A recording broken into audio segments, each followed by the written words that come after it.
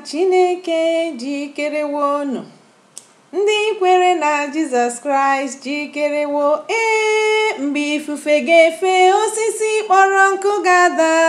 Mgbe ọnwụnwa ga-abịa anyị ga-amara ndị kwere nụ o jikerewo unu ikwere ekwe na Chineke jikerewo unu ekwe na Jizọs jikerewo ee mgbe ifufe ga-efe osisi kpọrọ nkụ ga-ada.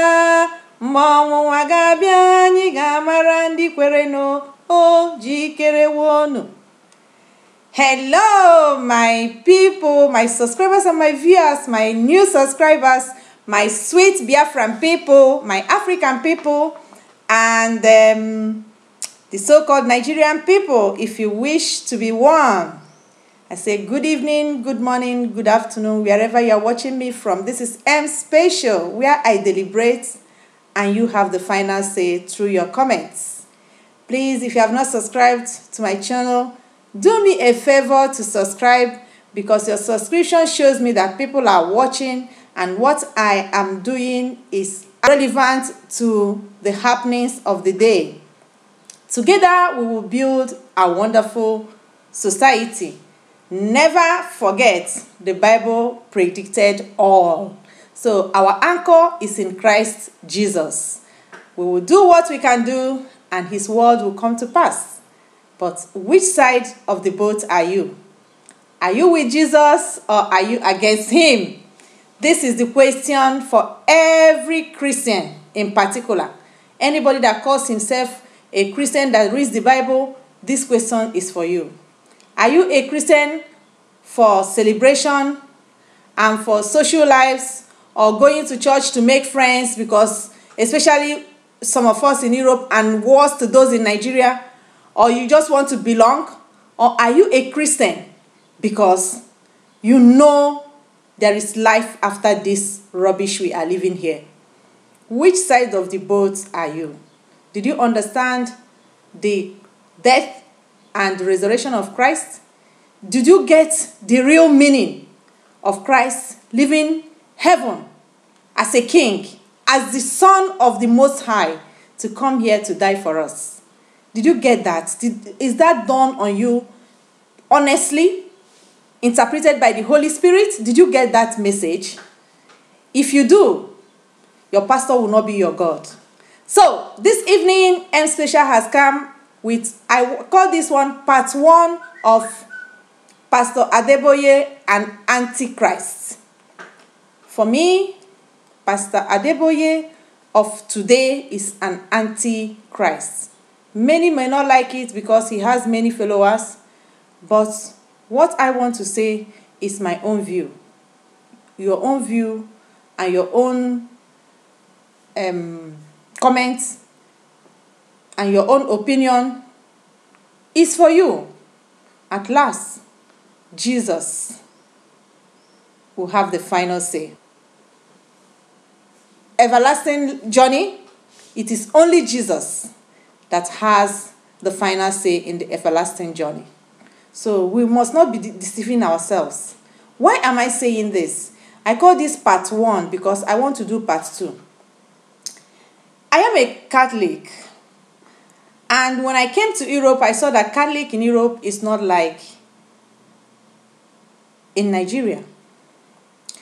Not only that, one thing I thank God for me being in Europe is that it's really helped me in my spiritual journey. Very busy, but I got a lot from informations, right pastors. In Europe here, I don't listen to African pastors. I'm sorry to say it. Especially pastors from Nigeria. I don't, I don't, their message does not resonate with me. I'm sorry to say it. They may have good ones.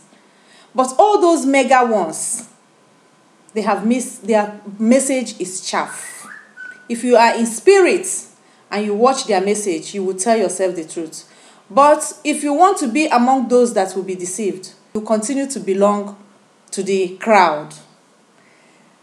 So when I came here, I went to First African Church. I watched what they are doing there. Not bad. Wasn't um, spiritually high as I expected it to be.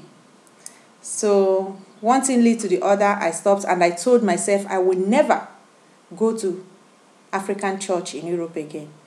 Because then, when I was going there, what I used to do is I go to Catholic in the morning and I would drive straight to Pentecostal because I want to build my child on a platform of God. I don't just want to be teaching her Bible in this house. I want her to hear from elsewhere. But unfortunately, when we go there, when we come back, the questions she asks me may just let me know that I am not doing the right thing for her because she later told me that what she is getting from me is far higher than where I'm taking her. And where I am taking her to, that they don't behave the way I do. The majority, majority of the people there, she don't understand their stand. And that got me thinking. So when I left there, a brother of mine that was heading Redeem Church approached me. I told him I don't want to belong to African church anymore. He persuaded me he is a born again Christian.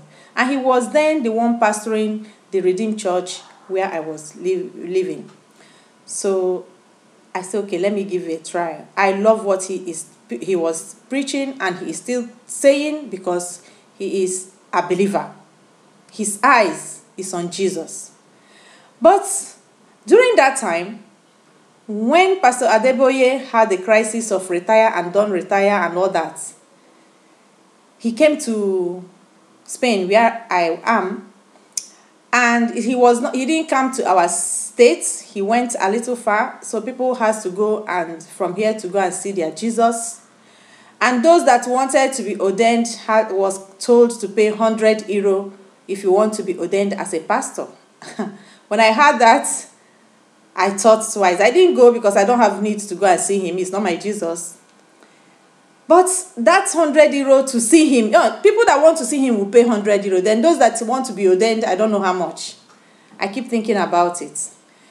He came, he left. The next news is that every tithe must be written in a register all around the world. That was when the pressure was high for him to leave and he gave that announcement. And I said, What? That means that people that we are heading the churches cannot um, enjoy what they worked for because, as far as I'm concerned, the Bible says the tithe belongs to the pastor.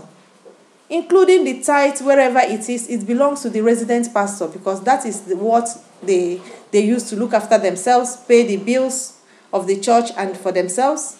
But this man said everything must be registered.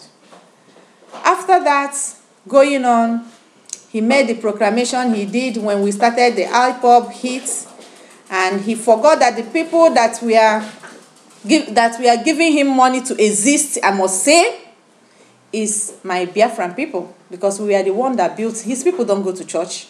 We are the one that taught the Nigerians about the true God the Igbos.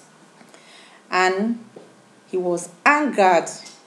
And that angry, he made a mention that he's going to pay to pray for us to all die because we wanted Biafra. And that baffled me. I stopped going to his church and I said, This is crazy.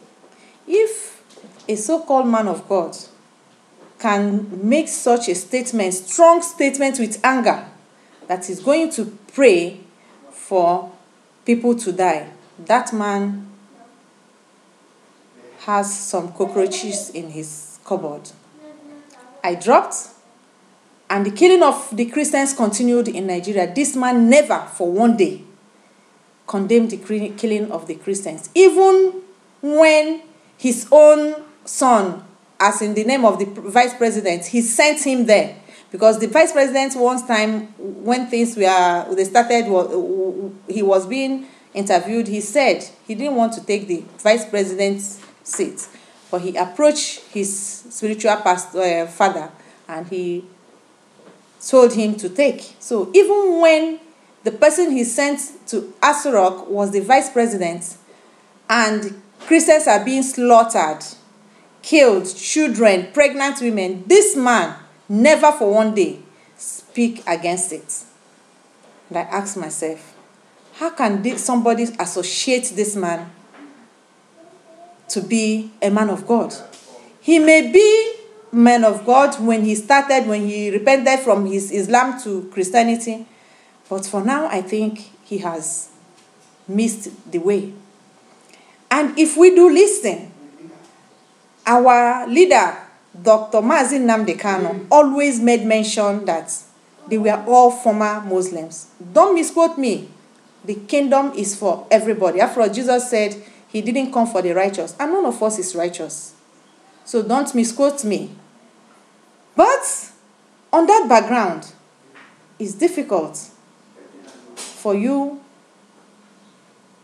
to finally say, We are all human. The final say is for God. We must not forget. With what I'm seeing, on my own opinion, from the CEO, Pastor, uh, Pastor Deboye, that he is still there for God. And that is my opinion.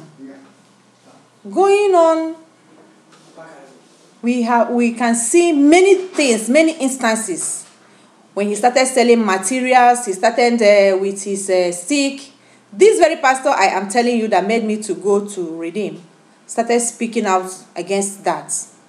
Do you know pastor adeboye's members from far and near were against this man? What did they do? Because he spoke out that the bible did not say this how can he be selling materials? How can he be focusing people? They removed him from being a pastor of Redeemed Church. Yes, it happened in Spain, in my presence. They removed him. They said he is going against their GO. That is their God. So when you are in Redeemed Church, you are not there to make a change. You are there to have your Jesus as your GO. But I want to tell you something. When you will die, just as he will die and I will die one day, you're not going to see him you are going to meet the person that died on the cross for us. And don't be deceived. Many people today are in hellfire because they confide and believe in everything their pastor said. They, they normally they wouldn't have had any reason to go to hellfire, but they went to hellfire because they closed their mind. They refused to be corrected, and they saw that man as the only man, even before Jesus. They, is the person that they will call to. So, this is the part one of this. What do you have to say? Is that right? That somebody that read the Bible knows what Jesus preaches will come up to deceive himself and to deceive others. Will you call it out of ignorance? I don't think so.